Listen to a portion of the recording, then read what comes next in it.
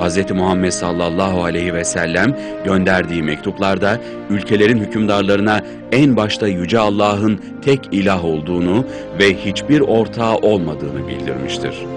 Mektup gönderdiği her hükümdarı İslam'a çağıran Peygamberimiz sallallahu aleyhi ve sellem eğer Müslüman olurlarsa ve topluluklarına da bunu ulaştırırlarsa Allah katında sevaplarının çok büyük olacağı müjdesini vermiştir.